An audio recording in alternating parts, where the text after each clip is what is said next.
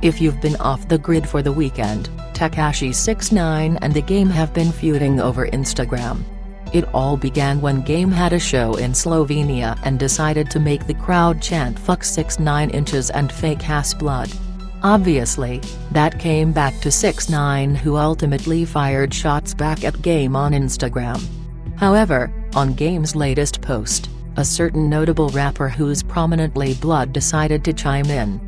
YG's been relatively quiet when it came to the conversation about 6 9 During the NBA All-Star Weekend, YG never shared a repsense about 6699's not checking in comments.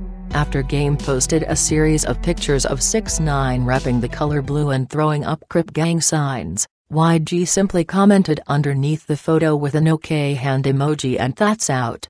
While YG's never really spoken about the Brooklyn rapper in the past, it was speculated that he fired shots at 6699 on his recent single, Suu Whoop. In the second verse, he mentions that he doesn't mess with clowns and later mentioned that he isn't with the pink-haired blood shit. It was never confirmed that it was aimed at Tekashi69 but considering his comments on Game's Instagram, it very well could have been. 6 9 has since taken down his post about Game from his Instagram.